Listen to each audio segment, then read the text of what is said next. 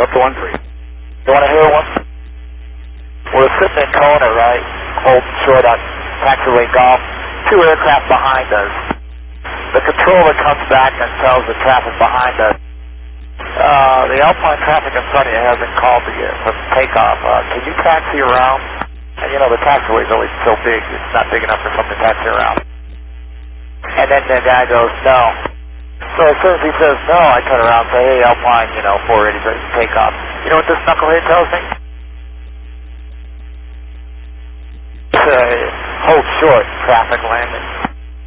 Yeah, but he was a fucking Cessna about uh, five miles out.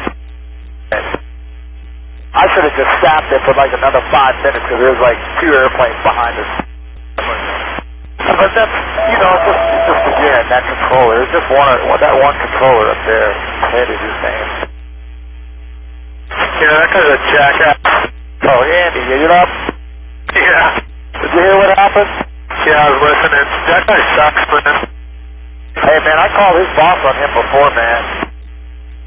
Really? Yeah, there was one time, Simba. One time I was, uh, you know, he cleared me for takeoff just as soon as I left the cargo ramp.